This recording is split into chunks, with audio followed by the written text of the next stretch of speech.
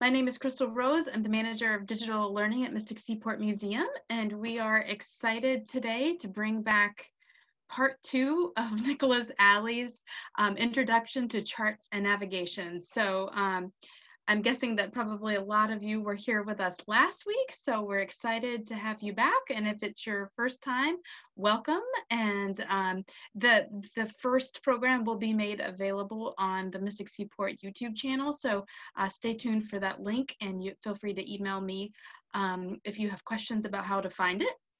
So just really quickly before I introduce Nicholas, we love for these programs to be interactive as uh, for many of you that have joined us before, you know how this works. We, um, we will uh, answer questions that are in the chat box. So put whatever questions or comments you have in the chat box. I will be navigating and moderating the chat and I will interrupt Nicholas um, every so often and uh, ask him a question from the audience. So feel free to communicate with us in that way. And I think that's probably pretty much it for me. Uh, we're excited to have everyone uh, from so many different places. So it's so fun reading where you guys are from. So we really appreciate you joining us today. So Nicholas Alley is the Yachts on Exhibit Operations Coordinator It's a really long title, Nicholas, for Mystic Seaport Museum. And uh, Nicholas, I'm going to just turn it over to you to start the program. I'm going to switch up the spotlight cameras. Let's have it on you there. All right, you good to go? Uh, yes, indeed. Awesome. Thank you very much, Crystal. And uh, yes, it is a, a, difficult title to sometimes pronounce. Uh, basically means I take care of our donated boats, so it's not uh, not that highfalutin. Um, but it is uh, it is nice to be working with the Seaport and uh, doing special programming like this. This is this is a lot of fun, and it's kind of a new thing for me. So uh, I appreciate everybody's uh, patience as I stumble my way through some of this computer stuff.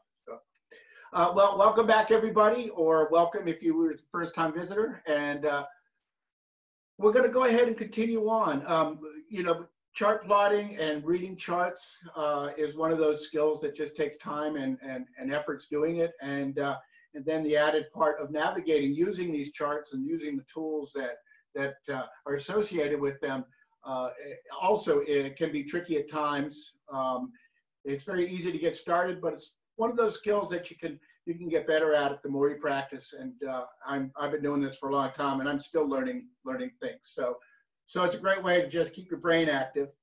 Um, last week we looked at some maps and charts uh, and some tools and some basic stuff, and I was hoping to continue that this week. Uh, we'll do a little bit of a re review, pardon my words there. Uh, I'm going to introduce some new items uh, that you can play with today. And then I thought probably the best way for us to show how navigation works is to actually plan a route and pretend navigate our way from uh, Mystic Seaport out to Block Island. And this offers us uh, two or three different environments, two or three different charts, and different procedures along the way. And this hopefully will give you a nice overview of, uh, of some of the techniques that we use in basic navigation. Um, I know skill levels vary a bit, and, uh, and as Crystal said, you know, please feel free to ask questions, and we'll answer them if we can uh, and, uh, and we'll go with that. So I'll go ahead and get started here with the new items. Um, if uh, we'll switch down and we'll look at the camera that's uh, at my, my, my desk. And you can look right here. I have what's known as a, as a cruising guide. And this is a cruising guide to the New England coast. And you can see that uh, this is Beaver Tail Light, which is at the head of Narragansett Bay, just outside of Newport. And, uh, basically, uh, a cruising guide is a booklet that tells you about the area in which you're sailing, uh, both from a navigational standpoint, but also just from uh, a living standpoint. It'll tell you where you can get fuel and so on and so forth. This one here at the bottom says it covers Block Island, Rhode Island to the Canadian border. And so uh, I, I, highlighted Block Island today because that's where we're going to be going. And uh, I wanted to, you know, uh, show some of the tools that we would use even before we leave. And some of the navigating takes takes takes practice before you even even leave leave the harbor. So we're going to look up uh, Block Island here, and uh, and we'll look at some of the stuff that's available. Here's a chartlet of uh, the actual harbor itself, a Great Salt Pond, which is the the one big anchorage in uh, in in Block Island. And I've been there many, many a time. Brilliant has been going there for something like 65 years. Here's another chart that's showing all of Block Island. We'll, we'll get into that a little bit more detail a little bit later on. But it also has a bunch of text and it talks about, you know, what you can find there, the services that are available. This is all about marinas and docks and getting fuel and water and some of the things that you need. There's information about anchoring, the number for the harbor master, you know, where the hospital is. All of that is available here in these in these um, cruising guides. Um, so it is a very handy reference, and these are available at you know uh, your regular West Marine or any marine store. This is from Maptech there, so you see that. So, so that's one of them. Um, another favorite in our business uh, is something that's unique to the, the area here, the Eldridge Tide and Pilot book. And as it says right here, it's the most trusted guide to the East Coast since 1875. And basically what the Eldridge, uh, Mr. Eldridge did is he started doing tide tables and it's grown to become just a, a, legendary sort of source of information. And as you would expect, it's got tide tables in here, but it also has currents, and some of that we covered last time. Um, but it's also got everything from the setting of the sun and the moon and definitions and stories. These come out every year, and uh, and they are carried on just about every boat that I've ever sailed on. Um, it's, it's kind of funny. A, a little while back, uh, somebody on Facebook typed in and said, uh, yeah, as you would imagine, a lot of a lot of my Facebook friends are, are boat captains or boat people, and uh, they said uh, Eldridge's. How, how, many people use it? And uh, something like 25 or 30 people replied that they wouldn't even leave the harbor without an Eldridge on board. And one of the beauties of it is that it's a quick and easy guide. So I'll open it up to a couple of pages that we have here. Um, this one here uh, is talking about time of high water or time of low water. And since, uh, since we're getting ready to depart, uh, I, I want to know what my tides are going to look like. And so we've got that. And uh, basically, these are reference stations. Excuse me, these are subordinate stations. And uh, they refer to uh, some of the major reference stations, in this case, Newport or Bridgeport. And uh, so I went out down here, I went down to Stonington, where we are here in Mystic. And if I go to Bridgeport and I look it up, I'll get that tide information. We're gonna play with this a little bit later on. Um, the other one is currents, and this is the currents in Long Island Sound. And we talked a little bit about currents, particularly in the race. And the race is that area where Long Island Sound meets the, uh, the North Atlantic or Block Island Sound. And the current can be very strong in that area. And uh, it's strong enough that you got to worry about it, uh, depending on what you're doing. So we would go into this table here when we would get the, the, the currents for the day and find out what's happening, whether we're going to be fighting the current uh, against us or working with it as we work our way out the sound. Um, this uh, diagram here might look a little familiar. And uh, we looked at a current table last week and, uh, and you can see this is the same current table, but just in a smaller format. And you can see all these little arrows which indicate where the tide is going and when. Uh, this one here basically says when the ebb starts at the race. And I went into the book and I found out when the ebb started. So that's what the tide would look like. An hour later, it would look like this. And if you look right in this section, you can see that these arrows will start to speed up as we get closer and closer towards the middle of the tide and the tide runs the fastest. And as I said last week, um, it could be particularly dangerous because the tide runs so fast in that area. Okay.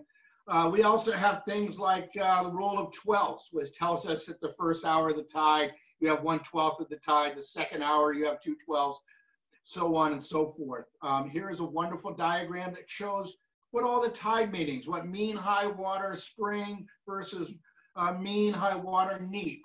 And that just gives you a little indications of, uh, of the differences in high and low tide. Everybody seems to think it's just a standardized thing, but it actually varies quite a bit, and you have to be ready to compensate that. This fella here is, uh, is an old-fashioned uh, lead line, and this is the way they used to check the depth. And he will swing this forward and then let it go and uh, out in front of the boat. And as the boat sails up, when that line is vertical, he knows how deep the water was. This is how they checked the depths back in the old days before they had electronic depth sounders. And, uh, and this one right here is just one of the many tabulated information that we have. And this converts from uh, seconds of latitude uh, to minutes of, uh, uh, tenths of a latitude. And we'll get into that a little bit later.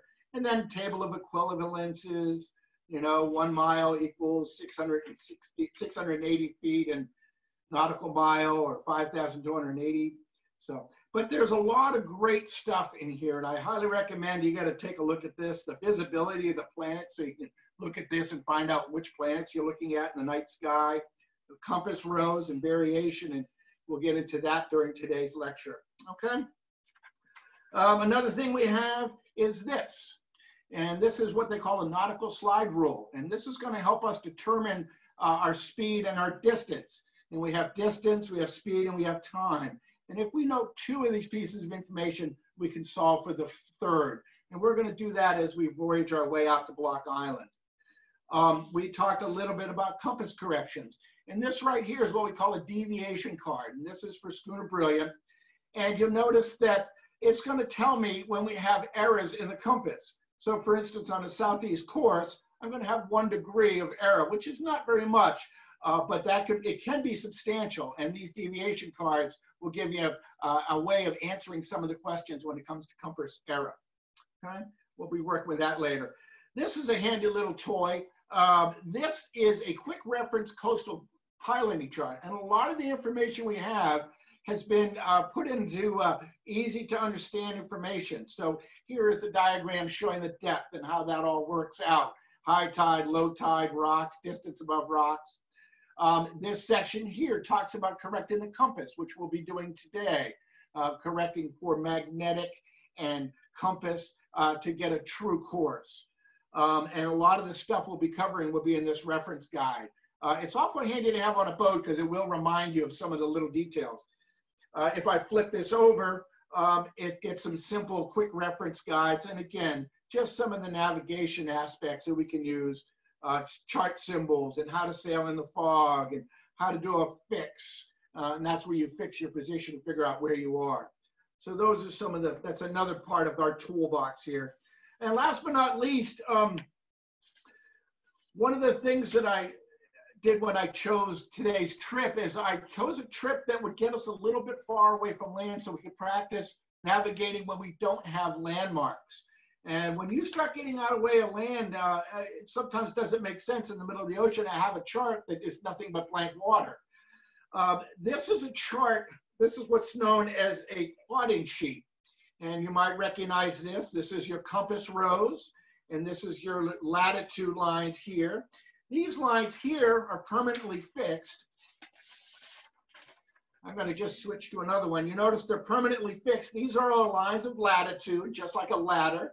And these are all equally spaced. And as we talked about last week, latitude lines are parallel and they are the same distance the whole way. Um, if you were to count this, you would find that there are 60 minutes in each degree. Each minute is one mile um, and that is works only on the latitude scale.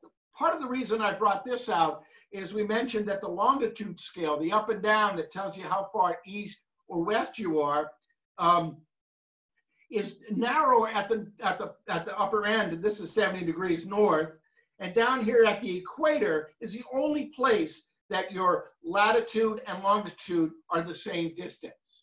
Now we're up here, you know, uh, and, and uh, up in this area here. So our longitude is really only that far apart. And I've got this other sheet and I set this sheet up and this basically reflects the area that we are now. We could actually just put, you know, Mystic Seaport right here and then go ahead and just plot out what we did on our courses. And we could put our various fixes. This is really used when you're offshore and a lot for celestial navigation, but it does give you the information. Um, you know, I set these vertical lines, these lines of longitude up using this longitude scale. And uh, as I said, that represents at the equator. So you notice your longitude and your latitude are equal at the equator. But here, at 40 degrees north, it's much narrower. So here is one degree of longitude, and you can see what we've done here. And I went ahead and I put my numbers, 40 degrees is approximately where we are, 41 degrees north, 40 degrees north, 39 north, and then our, uh, our longitude going there. Uh, as discussed last week, um, notice that I put the N in here. Somebody did ask, they said, well, is does it get negative when it goes below the equator? And it's like, no, when you're north of the equator, you would put 41 degrees north or 41 degrees uh, south if you were south of the equator. And notice that our longitude, as we indicated, uh, this is 70, uh, 70 west, 71 west, 72 west. We are moving westward from England or the Greenwich uh, meridian, zero degrees longitude. And since we're moving to the west, we're in the Western hemisphere. So all of our uh, latitudes and longitudes would be in west. So, so this is a plotting sheet, yet another tool. And this is great if you don't want to mark up your charts, you can use that. So, so that was just to introduce some of the stuff that we looked at last week. I'm going to move these out of the way and get down to our chart.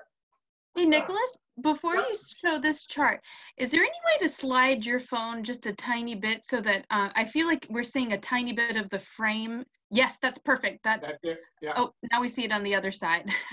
slide it back just a little. Okay, right there. I think that might be the, maybe that's the sweet spot. Yeah, I, okay. That's okay. Don't worry about it. it. It's not, it's not too bad. Yeah. we Well, go. I might have just made it worse. Sorry about that. no, it's uh, it's goofy. Sometimes it works fine, and sometimes yeah. There we go. There it is. That's what it is. Perfect. All right, perfect. Thank Cool. you. Thank you. All right. All right, folks. So um, that's just some of the stuff. Now, I've got some other stuff, but I'm not going to introduce it because I do want to get started uh, on our trip uh, coming out the river and actually kind of do some stuff. Um, the first one, uh, first part of the trip is to transit from Mystic down the Mystic River. And uh, I'm going to go ahead and uh, switch to our other chart in just a minute but I'll just show that we're going to transit down here. And what I'm going to do is we have a chart that I'll be able to use, but I'm going to come down here, all the way down the river. We'll pass some buoys and so on and so forth. And then we'll get out into Fisher's Island Sound. And at that point, it'll, uh, we'll, uh, we'll go ahead and start drawing on the chart a little bit more, more, more accurately. Um, so I'm going to go ahead and, uh, Crystal, will you go ahead and switch me? I'm going to switch over to uh, the regular chart. So share screen. Yep. And let's see, this is the one I want, right? there. So the share should be in the bottom right-hand corner of your options. You got it now? Not yet. No, that's not a good sign. I've got it on my screen. Hmm. Hang on, let me.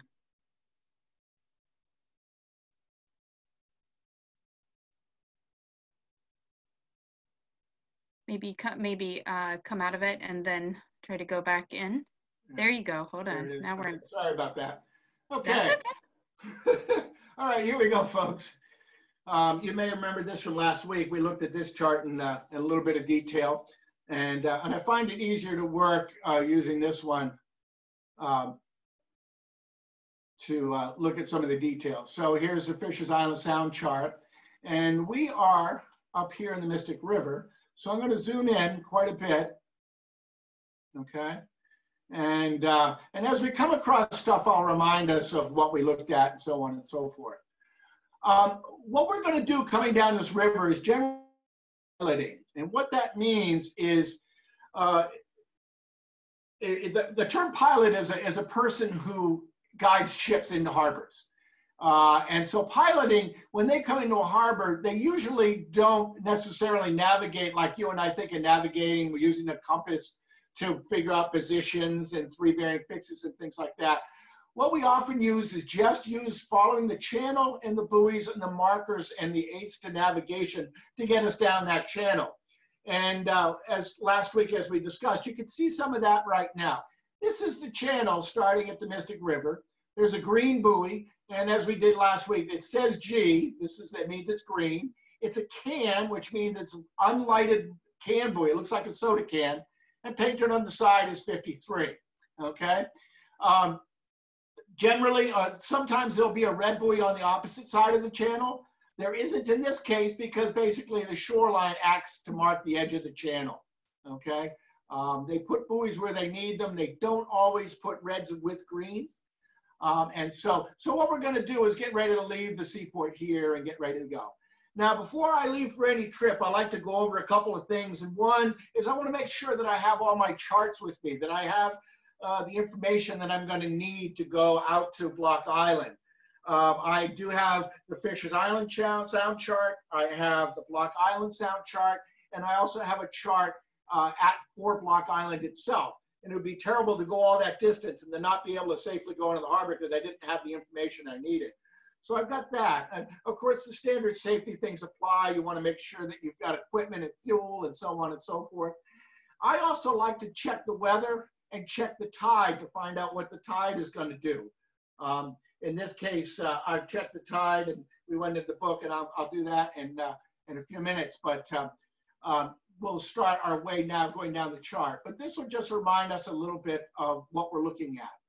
Now, you'll notice these are a little close together. One thing that I like to do is you want to keep a written record on your chart of what you did. And one of the most important things is when you find out where you are, always put the time. So if I was leaving this dock right here, what I would do is I put the time and when I came abeam, when I was right beside or that buoy was 90 degrees to my course, I would put a time down. I put a circle which says it's a visual fix and I put a time. And I would work my way down the channel and I would put a mark every single place. And that way, if I need to, in a hurry, look down, anybody can walk up to the chart and find out exactly where we are. If there's a problem or, uh, uh or if you have to go back and reference it, it gives you a, a great opportunity to keep track of what you're doing. It's also a great way to kind of watch your speed, and we'll get into figuring out speed a little bit later. But basically, as you come down the river here, you're going to go ahead and transit down past each buoy. And as we talked about last week, this is a, the green buoys are odd numbers, 53, 51, 49, so on and so forth. Come down past Mystic Seaport. Here's our first red buoy, red 38. If we come in, you'll see why they put that there. There's a bunch of shallow water just on the inside. There's a two foot section there, one foot, one foot, one foot out here. And notice that. And then the, the, the channel itself is 12 feet deep. So this is dug out like a trench, like a little roadway to get us safely down the river. Okay. We come up to the Mystic River Drawbridge, bascule bridge, which means it opens vertically. When it is closed, it has four feet of clearance. And just about the only thing that goes under that is a rowboat. So uh, it's always nice to check that. Uh, if you're in a power boat, sometimes you can get in. This is at high tide. At low tide, you might have six feet of clearance. And, uh, you know, in any case, you want to make sure that it's high enough to get underneath. Uh, horizontal clearance is right here. So that just tells you how wide it is, okay? Uh, this bridge opens on uh, a demand early in the season and then 20 minutes off every hour. So you call the radio, the bridge operator up, tell him you want it open. He'll tell you to kind of kind of wait with the other boats, and when that opens up, you go through. Um, just uh, just as courtesy sake, but also uh, right of the way thing, the boats that are have the tide behind them, the tide, boats that are being pushed, have the right of way, so they won't transit the bridge first. Um, when you have the tide pushing you along, you lose a lot of maneuverability.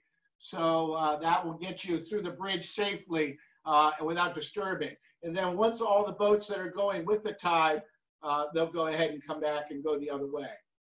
Uh, this right here is the Mystic uh, Train Bridge. Uh, this is a swing bridge, and there's the detailed information on it. And this section here rotates 90 degrees, and the correct tracks connect. Uh, vertical clearance. It's got a little more room there to, to, to get underneath. Uh, so most power boats could get under there, but that's how, how that works. Okay. So same thing, call up the bridge operator. Generally, this will stay open unless they've got a train coming. Uh, you call operator. you, on your radio, you would use channel 13. So, all right, so we're working our way out. You can see the numbers are decreasing as we work down the channel. You can see how shallow it is. And there's even areas that there's just mud that sticks up at low tide, rocks. That's a rock there. We'll come down the channel. And this is a marina that's there. You can see all the docks. Same thing, you know, the marina kind of marks the edge of the channel. Here's a red one. This is an interesting one because this is not only a turn, but there's another channel that starts and goes in here. And here you see the symbols change. You notice that these buoys, the can is a floating can, or the red one is known as an as a nun uh, for N, pointed top, flat top. These have the same symbols, but they don't, they're not buoys and they don't have that small circle. So these are, are what we call shoal poles or uh, they're basically stuck in the ground. So there's a pole stuck in and this has a, a triangle on it. And that triangle keeps you off of this rocky death right here. And this one keeps you in the four foot section instead of the, the three foot section. That channel goes up and leads into, uh, uh, into uh, Mason's Island there a little bit. Okay. So we're going to continue our way out the river here. Um, here you see that the channel has been dredged to 11 feet, uh, 25 foot wide. Same thing, get the docks. We're decreasing in numbers. Buoys there. This is all Mason's Island. Uh, we talked last week about uh, the, the green versus the beige. This is all shallow water marshland, which is could be flooded at all times. There's some up in here. So we'll work our way down. We start to see we get into having more channels. Now you can see it's 11 feet inside the channel and it's three right on the edge. And if you were, if there was no water there, there would literally be a cliff right here, or at least a steep incline. Okay, work our way out. Now we start to see what people will sometimes call a gate. A red buoy on one side, green buoy on the other. And, and they're working their way out. Uh, anybody remember what side the red buoys go or what we say to keep us reminded of what side the red buoys go? We'll wait and see if something shows up in there. Uh, here we have another gate and we work our way down. This is called the S curve. And here we have another channel that splits off and, uh, and goes down through the area. This area here is an anchorage. So when you come into Mystic, there's a whole bunch of uh, anchorage boats up in this area here. And uh, so we don't want to be going in through there unless we have to. And Nicholas? uh, yep, Looks like a lot of people are saying red right returning. awesome, perfect. Yep. that's Everybody it. remembers that from safe boating, right? Yeah, that's right. And and on the way out, I like to say red left on the way out, but it doesn't rhyme very well. So, um, all right. So so yeah, we've got another side channel going in here through the mooring area, so on and so forth. Notice that most of these are unlit buoys. Um, you know, this is this is kind of a not wicked important channel like New London. So the the, the, the less expensive unlighted buoys uh, are are cheaper and easier to maintain. Uh, and we just don't get the kind of commercial traffic that you would expect to see uh, going into New London or Bridgeport or some of those major channels. Um, we do have some lights, but they're generally uh, just kind of help you in the dangerous areas. Uh, one of those areas is right here. We talked about this last week. This is Noank Light. Uh, this is a sort of a lighthouse or a tower, uh, quick green, 22 feet tall. It's got this exclamation point, which says it's a light, and that light is stuck in the ground. Okay, it's visible for eight miles, 8M, and it's got a number five on it. And this area right here strikes fear into the hearts of schooner captains because you're going to come around here nice and all of a sudden you enter this channel and not only uh, does it get kind of shallow right in here, uh, but this this run here can get a little shallow. And another place where a lot of people have had problems is right here. You know, they come out, they stray out of the channel a little bit, next thing they know, they're in the mud. So when I used to bring boats with 12 feet of drafting here, we would always do it about a half an hour before high tide. So we had as much water, and also we had a little time. If we did get stuck, we had time to work it out before the tide started going down again. Because if you don't get it off before the tide goes down, you get to spend uh, 12 hours there. So, all right, we got the white for the deep water, and out. here is Whale Rock. Uh, this is uh, fixed here, you know, just got the exclamation point. Here we have a buoy with the triangle, uh, excuse me, the diamond, but this red mark here tells you it's a lighted buoy, and we can see right here, it's a red buoy, number four, uh, flashing red four seconds. So every four seconds, you have a red light flashing. And that's to keep you off of Whale Rock. This rock is big and hard, and it also breaks the surface in some areas. And then we work our way, working our way out to the channel. Here's a green buoy put there to keep you off that four foot section. Uh, red buoy to keep you off a swimming rock because it does get shallow into here. And then last but not least is can number one in um, the entrance of the channel. As I said last week, this is the beginning of the channel. The beginning of the channel will be buoy number one or two. Uh, and, uh, and of course the red one would be the number two. So that is basically how you would pilot coming down the river. If you were on a ship, uh, the, the, pilot would be standing there uh, guiding the helmsperson saying left, right, left, you know, and uh, well, what, what you normally do is we say, okay, just kind of head for the next buoy, head for the next buoy. Um, and uh, something that I, just something, if you're working with uh, younger folks or if you want to make your guests feel comfortable, one of the best things you can do is send them up with a pair of binoculars and, and have them get the numbers off the buoys for you as they come back. They, it gets them involved and especially you get like an eight-year-old, eight-year-old with a pair of binoculars, they run back and forth telling you where the buoys are and what numbers are coming up and and uh, it, it's really a nice way to involve them and get them in part of the part of the cruise, you know. So all right, so that's uh, that's our mouth of the river here. I'm going to go ahead and open up a little bit, and we'll start looking at the rest of the trip here. Okay. Now, as I come out, you can see a lot more of Fisher's Island Sound. You know, we just came out right about here. And now we're going to transit. The next section is this one in here. Uh, this is Fisher's Island Sound, the open water part. And then this is Hill, excuse me, Hill is right here. And once we're here, we are into open water. So we need to navigate through here.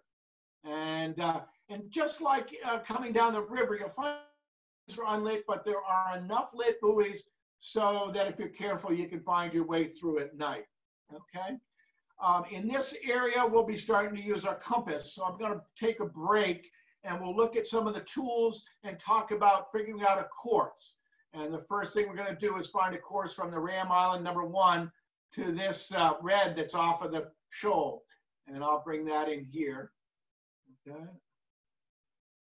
Um, while I'm doing, while I'm bringing her in and getting a better look, um, can anybody remember some of the tools that we're going to use to plot this course?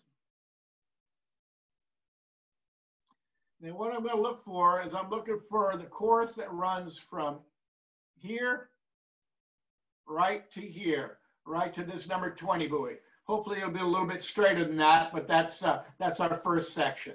So um, now as I do with this line, if I draw a straight line, I can see I've got good water the whole way across. Okay, I can see that if I go inside, I call that the Ram Island Red, uh, number 20, you can see that that would be a bad place. So what are some of the tools that we might want to use for this, uh, figuring out our course? Nicholas, people are saying uh, parallel rules, dividers, triangle. Yep, there you go. You want me to go to your other camera, Nicholas? Yes, let's, I was just going to say, let's go to my other camera. Oh, you know what? I think you actually have to stop your screen share. Oh, okay. Well, that'd be good because that'll give me a chance to open up the other chart. I'm not as ready as I thought. That's okay. Okay. All right. So stop share. All right. All right. Now I'm going to go to your other camera. There we go. There we go. Good. Okay. I'm going to turn on the light here and see if that makes it a little better with it. The sunlight just stopped. So that help at all? Oh, yeah. There we go. All right. All right. So, so somebody had mentioned parallel rules. So we got our parallel rules and that will help us transfer the lines around. And we've also got our compass rose over here, okay? What I'm gonna do is we're gonna work out the course.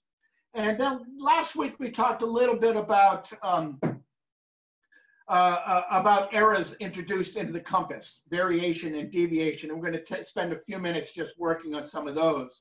Um, but the way you work out your courses, I'm just going to take, I don't know if you could see this pretty well. Um, set up here. So here's green number one, Ram Island number one there, and here's the number 20 buoy. Can you guys see that okay, or I can try to lower that a little bit? What do you think, Crystal? Um, I I mean I think it, let's see what people what people think. Give me a thumbs up. Use the reaction button if you think it's okay says that people can see it fairly well. Some people are Yeah, saying it's fine. Okay, all right, well, we'll Yeah, just proceed then. Okay, so what I've done is I put one edge of my ruler here on the green number one, and I put the other one right on the red 20. And this is the course I want to steer, and I'm going to steer it in this direction. Okay, I got my little pencil here. This is not a pen. So that line will represent that. Now what I'm going to do is I'm going to walk this, as we went, we kind of went into this last week. These parallel rules will take this, e- this line and transfer it anywhere in the chart that you want. Um, you just got to make sure that you don't twist it as you're working it. So we'll line that up. I'm gonna hold one, I'm gonna shift the other one, and I'm gonna walk it on over to the compass rose here. Okay, set that there. And I'm gonna walk it through until I reach this, this edge here. Sorry, this edge here meets the center of the compass rose. Okay, and I'm gonna bring that around. And because I have a terrible memory, I'm gonna make a mark. And I'm gonna make a mark on true, and I'm gonna make a mark on compass. So that's what I wanna do, okay? So this mark, I like to put arrows on there to remind me.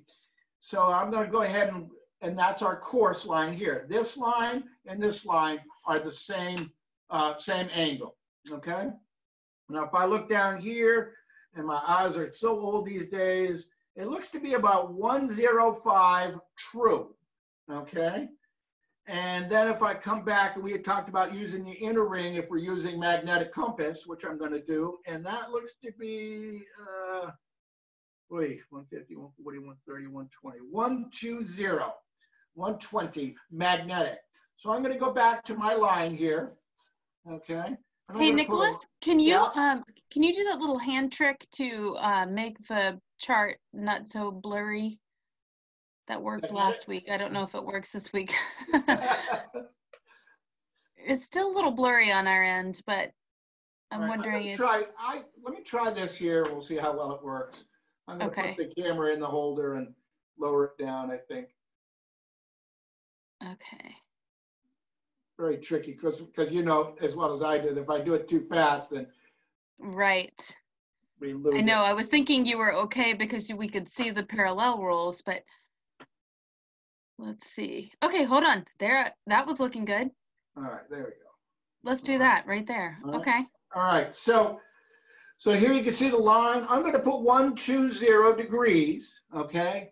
And this is important. I'm gonna put an M there, meaning magnetic, okay? So that if I look at this, I automatically know what I'm doing, okay? So if I steer from can number one, and I get my compass out and work my way along, I've got a compass here to help you kind of work that. Um, This right here is a magnetic compass. And if you look right here, you see that line? That's what they call the lubber line or the heading line. Now you want to go ahead and line that up so that it's over, when you're driving the boat, it's over 120, okay? And then that will uh, get you down along this line here, okay? So that lubber line, and that's also a line you would use when you're going to go ahead and take bearings, um, you know, so you kind of get uh, stuff like that, okay? All Hey, right? Nicholas, we have a question that seems appropriate while we're at here at this moment um, Okay. from Pierre in the audience asking, is it okay to fold a chart or should it be kept rolled? Uh, it's always nice to be able to keep them rolled, and yet you always end up folding them because you just need to. They're awful big. The, the, the dream of every sailor is to have a chart table big enough to be able to unfold all the charts, and not, not a lot of us have those. So, Got it. so yeah, it does wrinkle them, but it's part of the part of you know that's what that's how they sell new charts. So. okay. All right, so, so we've got the, that, that course there, okay? We got a time, let's just call this 12 o'clock, okay? We got to that point because remember, we're marking that all along. And then we're gonna go ahead and work our way along this course, okay? So let's say we get here uh, in, in, in one hour, or well, let's, uh, that's actually about, let's call this 12:25, okay? Uh, Let's make it simple, I'm gonna make this 15 minutes, 12:15, okay? Oops. All right, so now we're there, we're at Ram Island One, and then we look out and we could see that uh, we're gonna need to alter course. And this is where I'm going to run into a little bit of trickiness.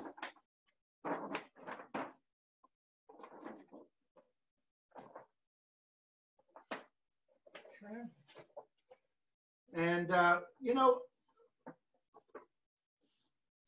I think that we might have to, I might not be able to do this. Well, let me, let me just try this. I'm going to juggle the things a little bit. Okay.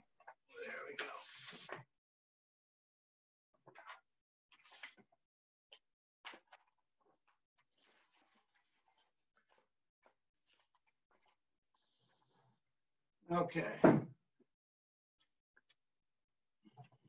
Yeah. Um, I'm gonna, I'm gonna switch back. This chart isn't gonna work on this. Let's go back. I'm gonna introduce another chart in the shared, shared file, okay? All right. Let me go back and uh, thanks All for. right, I'll do this one and then the last one. Yep. Okay. Let me go back and spotlight your video. Thanks everyone for hanging in with us.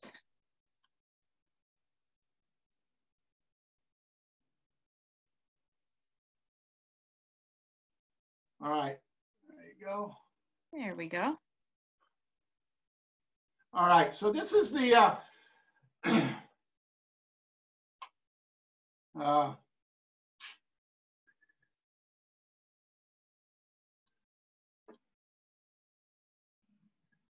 so I'm looking at the time Crystal and uh, I'm going to go ahead and we're going to start from this chart. Okay. Okay.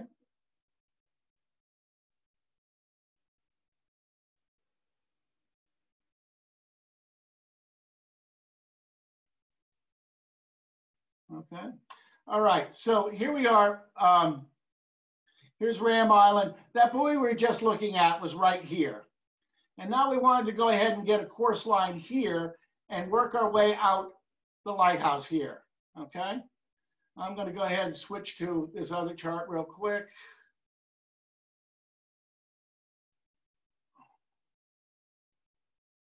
Uh,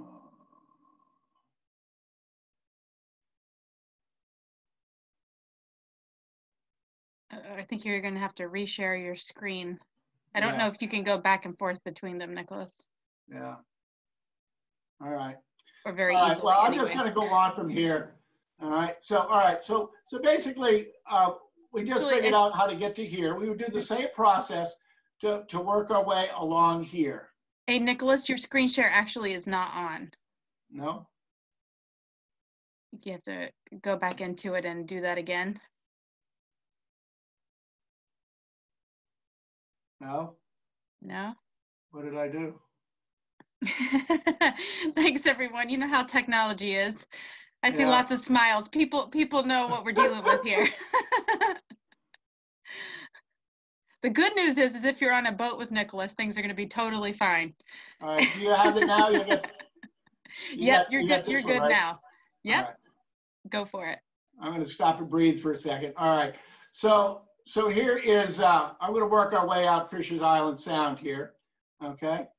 And we would do the same technique and we would just work our way along here as well. Okay. And basically a long straight line. One of the places we'll stop and go by is Latimer Light. Okay. Oops. Okay, and Latimer light is right here, and that has the same symbols we looked at well, as Noank light. It's lighted, 26 uh, flashes every six seconds. It's nice and tall. It's got a bell so you can see it at night. This is a good landmark, and what I would do here is I would go ahead and um, put a mark and mark what time we got to Latimer light. Part of the reason we're doing that is to figure out how fast we're going as we work our way along the, the, the, the coast here okay? Um, and we'll continue to sail our way along. I'm gonna come down a little bit, okay? And we'll continue this along. And our next point is this one right here. And this is pretty much a straight line from, from Ram, from the Ram Island Shoal Red Buoy all the way down. It's all just one shot right here. And this is the, uh, this is Napatree Point Light. Same thing, this is a lighted buoy, okay? And this is gonna tell you uh, where you, you're getting set up and so on and so forth. At this point, you know, you come by here, put your time down, And, uh, and then you go ahead and steer for Watch Hill Passage. Now, Watch Hill Passage is right here. This is Watch Hill. You've got a great big lighthouse on the point. This is a, a, a super one. It's uh, tall. It's you can see it for 14 miles. Um, this is a big magnitude lighthouse. Also, Taylor Swift, uh, Taylor Swift lives over in here. All the kids want to know that. You have an unlit buoy, unlit buoy, and this is the one that I usually aim for. It's a lighted buoy and it's a little bit taller and a little bit bigger. So we get on over there and we work that out, okay? So, um, so our time here and our time here, okay? And then this becomes uh, where we jump off into the open waters of, uh, of, of the Block Island Sound, okay? So I'm gonna open this up a little bit more. And you can see that uh, the chart basically ends at this point here. And I'm gonna hopefully be able to switch back to that other chart, okay? Um, I'm gonna do one thing now, I'm gonna, I'm gonna go ahead and switch charts now, okay? Okay. I'm gonna stop share. Yep. And then go to your other chart.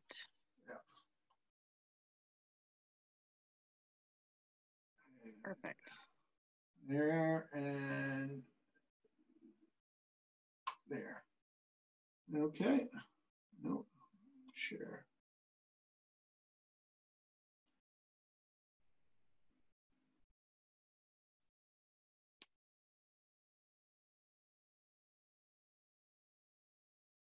Still thinking. Yeah, I'm not sure. Yeah, I got a little too fancy, it looks like. This doggone Zoom. no, it's my fault. I, I lost it. It's not in the not in the list anymore. So Is it one of the ones you have uh, under your cell phone? yeah, yeah. So I'm just gonna have to go ahead and we'll go do the old-fashioned way. All righty. Let's switch you over. There we All right. go. All right, there we go. All right, so at this point,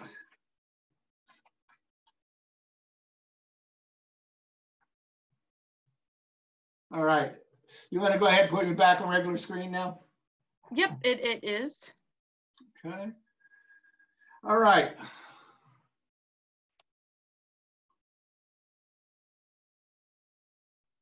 It should be, Nicholas, I've got it on the camera showing your hands or your cell phone camera. There it is. There it is. Okay.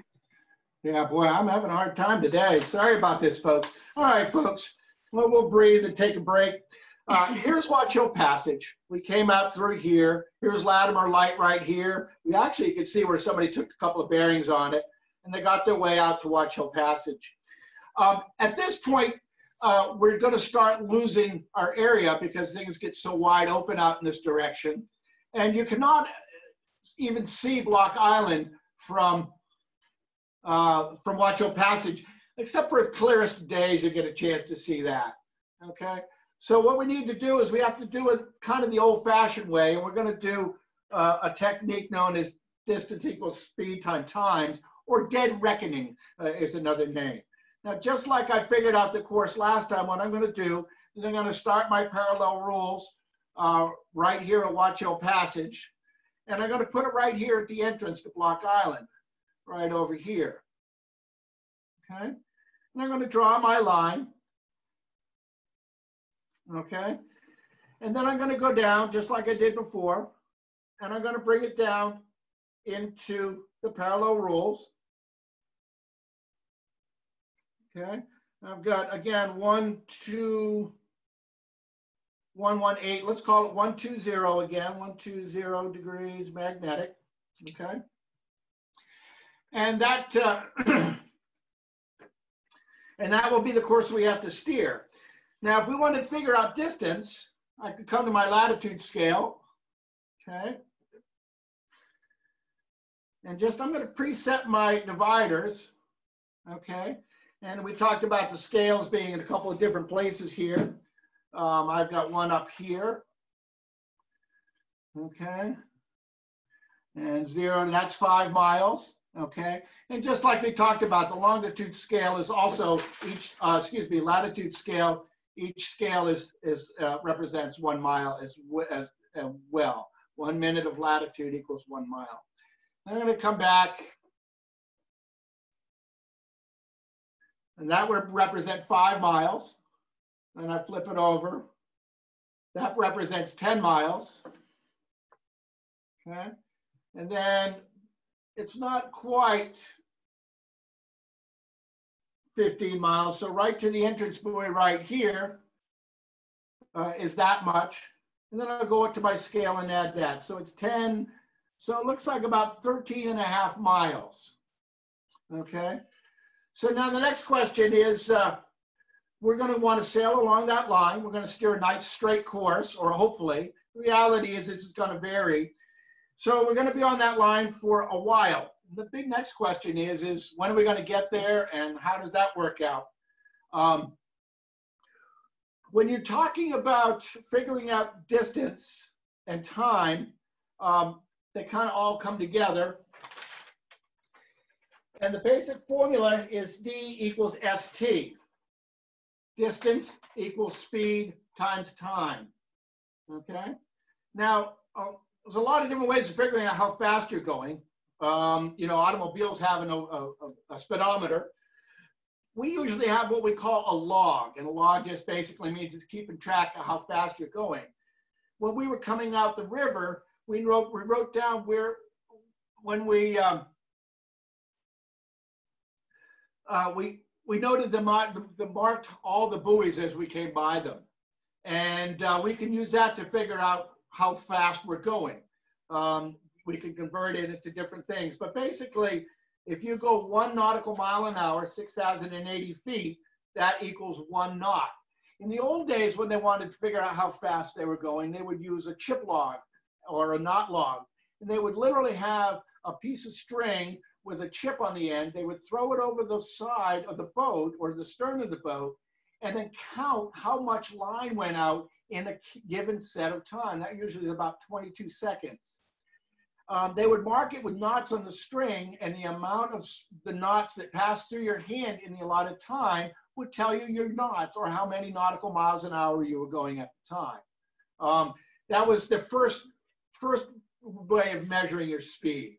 Um, that evolved into uh, this mechanism here. This is a Taft log, and this Taft log, uh, you have a spinner that you throw over the back of the boat, and this thing spins in your wake as the tide goes by and turns by this rope the dial. And that will tell you how many miles you've gone. And of course, you would note what time you threw it over and what time you brought it back in. So you could go check this once an hour, and that was a standardized method to check your, your distance every hour and write it down.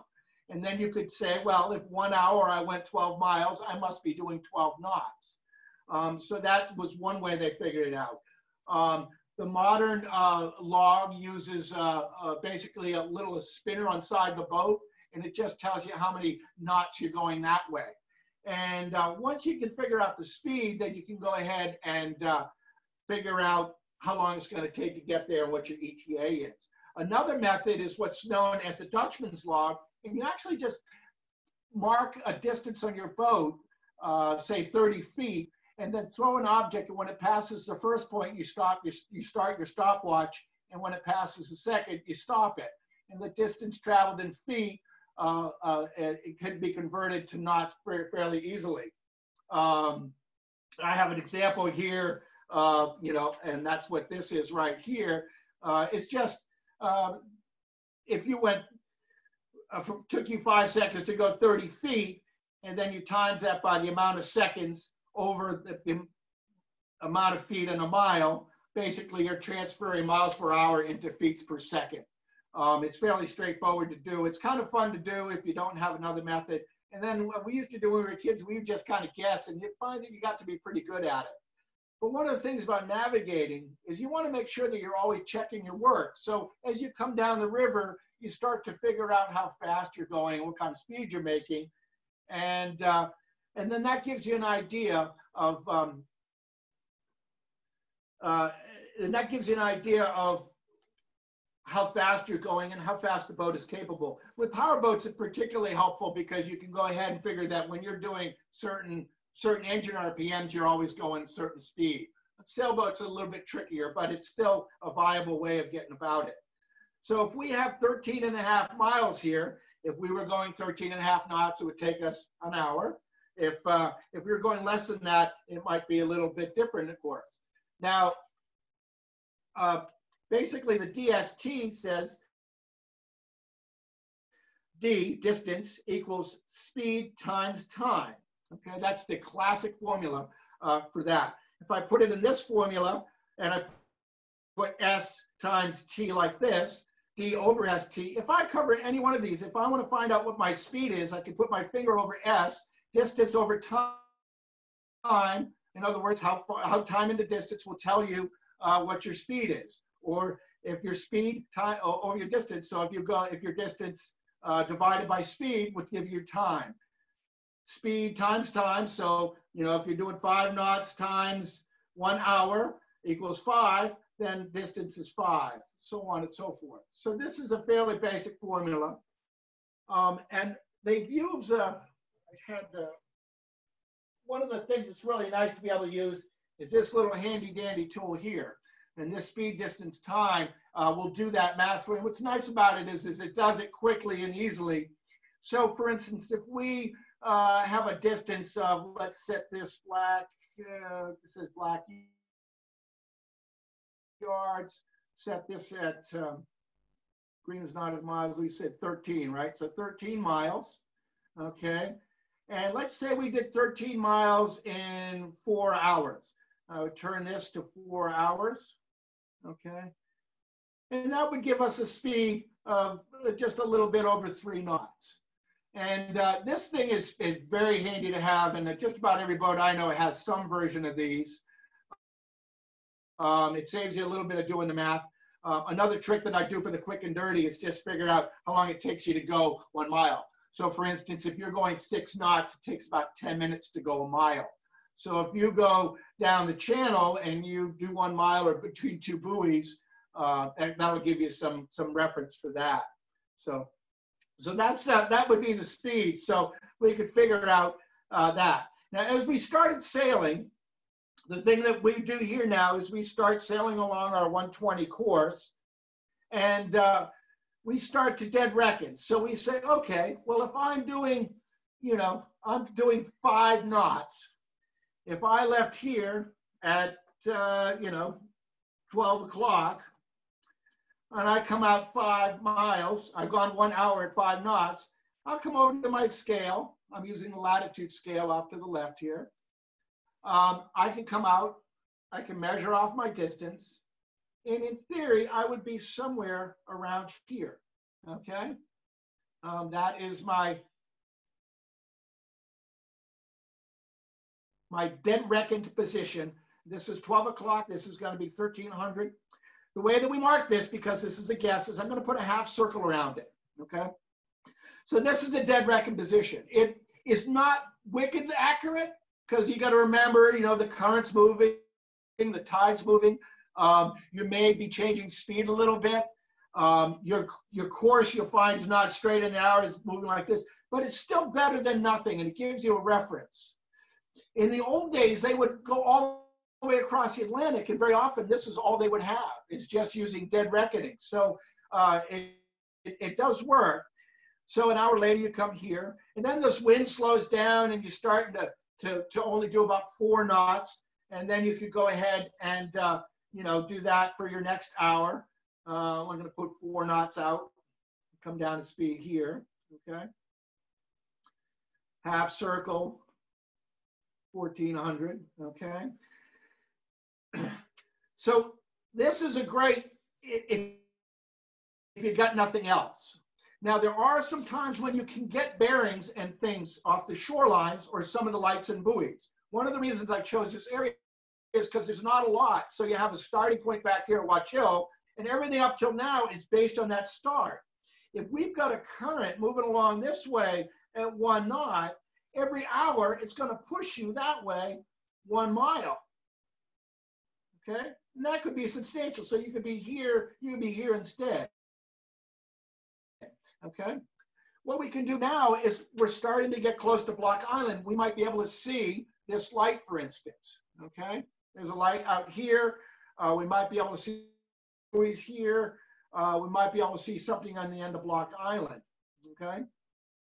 So I'm gonna get my, my compass or my hand bearing compass uh, and basically sit right here, look through my hand bearing compass. We talked about this last week. I'm gonna look right through this section right here and you can see, I think you can see the numbers there. And I'm gonna hold it up so this buoy appears right here, right above the number. And whatever number that is, I'm gonna go ahead and use that. Now we're gonna reverse backwards and we're gonna say, okay, well, I got a bearing over here and uh, what I would do is come to the compass rose instead. I'm gonna make this fairly simple and just go uh, right to here, which is 090 magnetic. Since I'm using magnetic compass, I'm gonna go ahead and do that. Uh, um, so I get this lined up at 090. I'm gonna walk this over so it goes through the buoy and I'm gonna draw a line. Okay, I'm gonna mark it 090, okay? That means that if things go well, we're somewhere on this line, okay?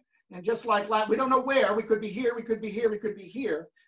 Uh, and just like last week, we're gonna go ahead and we'll get another bearing. And we'll go ahead and we'll take a bearing on the, the light buoy at the entrance of the channel, okay? So I get a bearing, let's say it's bearing, uh, you know, one, 120, because that would seem to be a pretty good one. And I'm gonna come over here, work my way over, Okay, can you still see it there? Yep. And I'm going to line it up right in here. Okay. And I'm going to cross. Okay. And that is one, two, zero. Okay. So I've got a cross suddenly. So I know I'm narrowing it down quite a bit. So I could consider myself there. And like we discussed last week, we like to throw in a third so that you can make sure that, you know, one of these two isn't wrong. So let's say I can see the whistle down here okay? And uh, and I, I I I come down and I I read uh, looked at the compass and I see that down at uh, 150, 160, 165 or so, okay? And then I work that back over, so it goes through the buoy, okay? And then I draw my line. And as we said, like last week, I have a diamond. I don't have a cross, but that's pretty good. So I know that I'm there. Now our DR puts us here, but since this is a much better position than the DR, I would go back and I'd start using that as we worked our way down here to work into the harbor, okay? Um, so that's a three bearing fix. And at that point, we can adjust and say, okay, well, the harbor entrance is much more like right about there, okay? So that's that. Now, I, I know that I'm running a little over time, so I'm just gonna go over a couple of things that we talked about. Um, one was correcting the compass and the compass course. And, uh, and another is I'll just show you a quick look at the charts as we work our way in here. Okay. Um, down in here, we talked about uh, the compass has two errors. One of them is variation. We talked about this star represents true north like that. And this one represents magnetic north, like that. And that magnetic north uh, is basically due because there's a big chunk of iron up there in Canada or Northern America that attracts the compass. So it introduces an error and it swings the compass this way. Okay. So we have to compensate for that. In the middle of the compass rose, it says 14 degrees, 45 minutes uh, is the uh, is the the um, variation at this point, okay? Um, there's an old adage, and it says, can dead men vote twice at election? Can dead, can you see that? Dead men vote twice at elections. We can see what it, this stands for is it's a way to switch. What's that? Can you see it? I said we can see it. Okay, good. Uh, this is compass. This is for deviation. And deviation is an error introduced because of iron on board your boat or your boats, okay? And if you correct for the compass for magnet, that gives you magnetic, magnetic, okay? then we have variation, and then this is true. Okay. This says add east, okay? And that is, you're gonna add easterly error. Our error is to the west, so we would subtract it, okay? So our true course, okay? Our, our true course is about one, one, two, zero, okay? The variation is 14. I'm just gonna, I'm gonna call that 15 to make it easier, okay? If we're going down, we add the error. If we're going up, we subtract the error, okay? So west is best, we subtract west. So I'm gonna add that. So true plus 15. So 120 plus 15 is 135, okay? So true would be 120, magnetic would be 135. And then deviation, which really doesn't affect us a whole lot depending on the boat. We looked at brilliance and it was zero and one degrees. Um, and uh, so I usually don't. But if you're in a steel boat, that can be substantial. So let's say we've got 10 degrees uh, east. Okay, we add east, we subtract east going back. So 125 would be what you would read on your compass after you've cor corrected for your errors. Okay, now, I know that was a quick go through. I, I'm, I'm, kind of pushing myself a little bit as far as time frame. Um, but, uh, but I'd like to think that we can go into this a little more detail perhaps another day. Um, but as we come down, you've done all your compass errors. I'm a little bit all over the place. But what you can do now is just start taking bearings on this as you work down. So this is where you were at 1400. And now you're just going to check your position as you close in. You can start to get to the point where you can see this buoy here.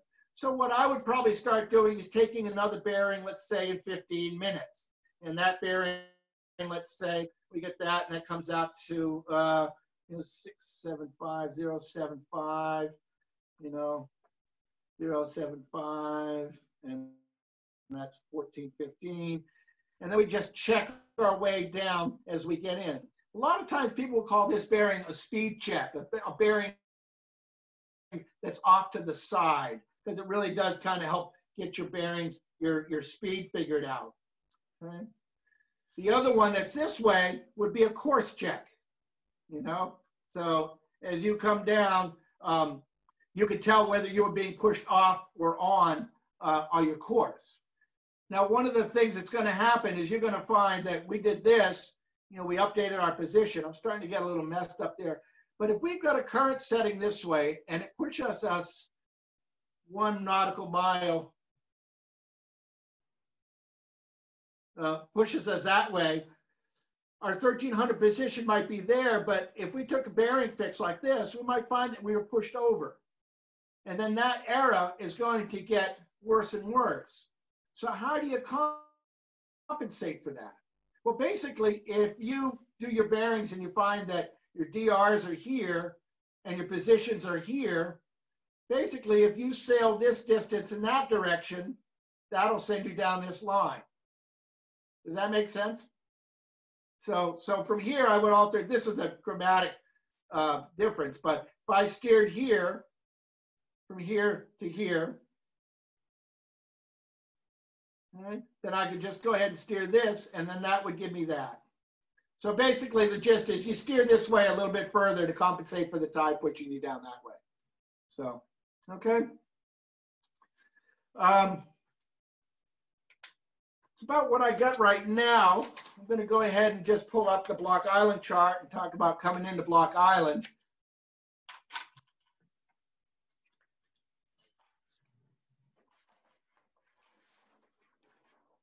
Nicholas, we do have a few questions at the end for whenever you're whenever okay. you're ready. So I'm just going to do a quick view of this, and then we can do questions. I, I imagine I, I, I apologize. I I rushed myself to the end, and I was probably a little as far as what I was going to teach you today. Nicholas, so. we need unlimited sessions with you. All right. Well, that's what I was really going for, so that I could get a chance to do this again. Part three. I think it's coming yeah. up. We actually already had a request for it. So. All right.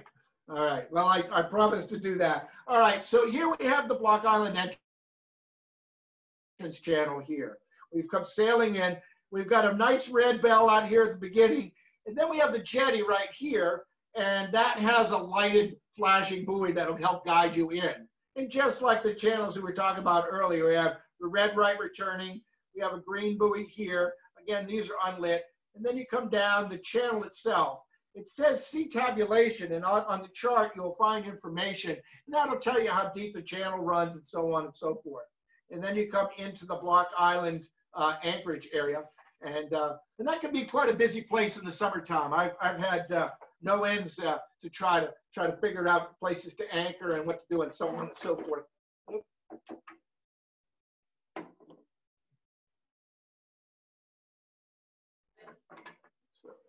all right. So there, there's our Block Island entrance channel and so on and so forth. You can see we've got the depths in there. Okay. And it's not coming up so well. There we go. All right. All right. So I think that I've embarrassed myself enough. Nicholas, um, you're fine. All right. So um, that's kind of where I think we could stop for today. Um, Yes, we can look at some of the things. There is a lighthouse here. This would be a great one for doing a bearing on uh, coming into uh, into the island. And, and that's what it basically I would do coming in along here. Um, you can see a position that we have here. This is an older position that was put down. And just like all positions, it has a triangle represents uh, 12 o'clock or 1150 fix. And this is the course line, and that's the, what we're steering. And uh, and so, so that that is that. Um, all right. Listen, I'm uh, wondering uh, if we might want to. I'm wondering if we might want to turn part three into coming into the harbor, like this part you were just going to show. We could do that yeah. uh, in a coming session. I think so. I, There's a lot of requests for it. I don't know if you're looking at the chat box, but a lot of yes. people are asking for part three. so, yeah. no, you're, you're getting a lot of things despite technology issues. Yeah, no, I, I appreciate your patience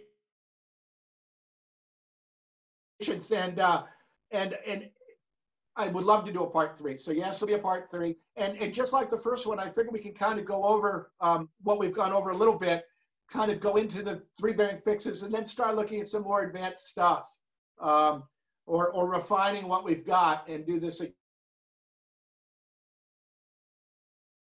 again, maybe uh, maybe this trip or another one. I'll look at the charts and see which are easier to Good. do. Um, so, but that's so. you know, what, we had what, one question a little while back that I just was going to wait until the end for. Somebody asked if you had a recommendation on a type of binoculars. Kind of, I think whenever we were talking about coming out at Watch Hill and not being able to see Block Island unless it's a clear day. I think maybe that's when that came up. Um, well, there's a lot lot of different types, and uh, and unfortunately, the better they are, the more they cost. It, and it, it, rather than a type, I would say that just spending money. Um, you know, you can get a good, decent working pair of binoculars for a hundred bucks. Yeah. Um, I would try to find them. You know, some that are a little shock resistant, and you also don't want them to be too magnifying. A seven by fifty is a good size, and seven. Uh, 50 magnification and seven inches is the objective lens. If you get them too fine, when you hold them up, they're too wiggly and you can't see, you know? So, yeah. uh, so that would be good. But yeah, West Marine has some decent ones. Um, you know, there's uh, Steiner is a German manufacturer that's renowned and they can get pricey. Fujinon, uh, again, makes just an amazing waterproof armored binocular. Uh, but you can find some really nice stuff in the $100 range. And uh, and yes, and as somebody saying, they do make some that have a hand compass built into them as well. Right. Steiner a real Steiner and Fujinon, you know. Yeah. Excellent. So awesome, right. Nicholas. Well, I just want everybody to know that I I'm uh, I've uh, listened very closely in the chat. There's been some good, the, some great ideas have come out of the chat, so I'm going to save the chat from today to make sure that we know things maybe we could cover next time or for other sessions. So thank you all for your great feedback. Nicholas, thank you so much for, um, you know, spending your time teaching us all of this stuff, um, which is so fun. So many thanks from the audience, uh, from people all over. So we really appreciate it. And I hope there's a session three. We'll work on that as I'm working on the schedule. And um, thank you so much, Nicholas. And thanks to everybody for joining us. Thank you, Crystal. And thank you, everybody, for your patience. We'll see you next time around. Bye. Have a great night, everyone. Bye, Nicholas. Thank you. Bye-bye.